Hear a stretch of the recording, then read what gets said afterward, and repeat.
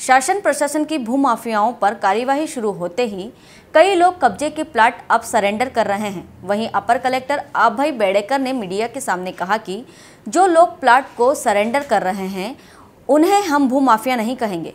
वो अपनी गलती मान रहे हैं। हालाँकि नियम के मुताबिक उन पर कार्रवाई की जाएगी।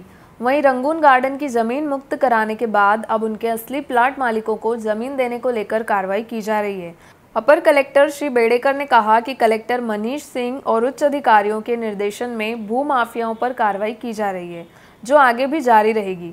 आपको बताना चाहेंगे कि मुख्यमंत्री शिवराज सिंह चौहान के आदेश के बाद भू माफियाओं पर इंदौर शहर में सख्त कार्रवाई की जा रही है, जहाँ बीते दिनों अपर कलेक्टर अभय बेड़ेकर के निर्देशन में रंगून गार्डन को तोड़कर करीब 50 प्लॉट खाली करवाए गए।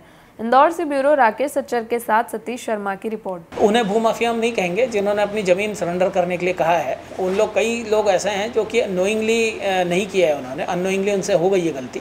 ऐसे बहुत सारे लोग हैं, करीब बारह पंद्रह लोग हैं, जिन्होंने अपनी ज़मीनें सरेंडर करने के लिए कहा है।